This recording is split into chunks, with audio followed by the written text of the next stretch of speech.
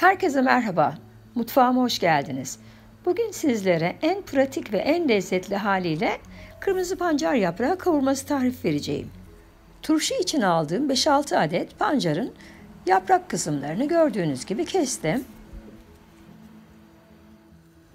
Kök kısımlarını kesiyoruz ve yapraklarımızı iyice yıkıyoruz. Yıkayıp suyunu süzdürdüğümüz yaprakların saplarını ve yaprakları doğruyoruz.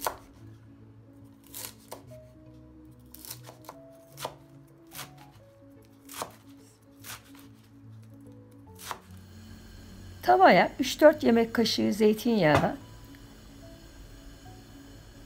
ve bir adet doğradığımız soğanları ilave ediyoruz. Biraz karıştırıyoruz.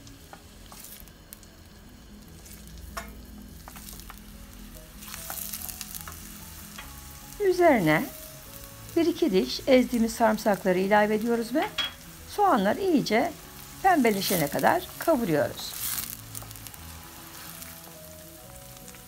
Soğanlar yeterince kavruldu. Şimdi üzerine bir yemek kaşığı domates salçası ilave ediyoruz ve biraz daha kavuruyoruz.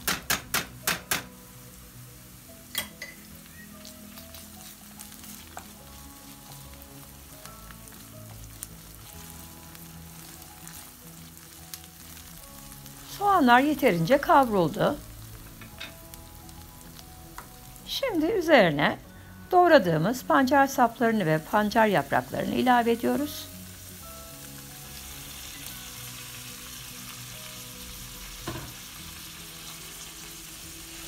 Karıştırarak 4-5 dakika bu şekilde kavuruyoruz.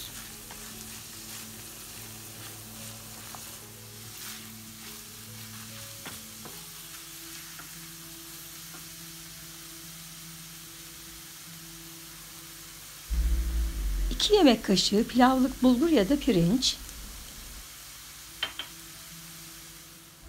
yarım su bardağı kaynar su,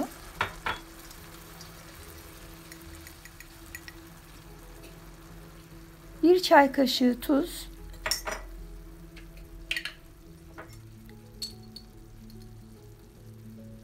ve bir çay kaşığı da kırmızı pul biber ilave ediyoruz. Siz gene ağız tadınıza uygun karabiber gibi kimyon gibi başka baharatlar da ilave edebilirsiniz. Ocağın altını kısıyoruz. Kapağını kapatıyoruz ve bulgurlar yumuşayana kadar yaklaşık 20-25 dakika pişiriyoruz. Pancar yaprağı kavurmamız pişti. Artık ocağın altını kapatabiliriz. Gördüğünüz gibi harika, mis gibi bir yemek oldu.